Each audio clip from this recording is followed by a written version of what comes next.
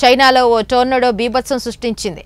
ప్రకృతి సృష్టించిన ఈ విధ్వంసానికి పది మంది చనిపోగా పలువురు తీవ్ర గాయాల పాలయ్యారు స్థానిక మీడియా తెలిపిన ప్రకారం జియాంగ్స్ ప్రావిన్స్లోని సుకియాన్ పట్టణంలో నిన్న మధ్యాహ్నం టోర్నడో ఒక్కసారిగా విరుచుకుపడింది. మెల్లగా ప్రారంభమైన సుడిగాలి క్షణాల్లోనే వేగాన్ని అందుకుని ఒక్కసారిగా పట్టణాన్ని చుట్టేసింది. దీంతో భారీ శబ్దంతో పాటు వీచిన గాలికి ఇళ్ళ పైకప్పులు గాలిలోకి ఎగిరి పరిస్థితి భయానకంగా మారింది. ఈ సుడిగాలి దాటికి నూట ముప్పై ఏడు ఇళ్ళు నేలమట్టం కాగా ఐదు వేల ఐదు వందల మంది ప్రజలు తీవ్ర ప్రభావితమయ్యారు.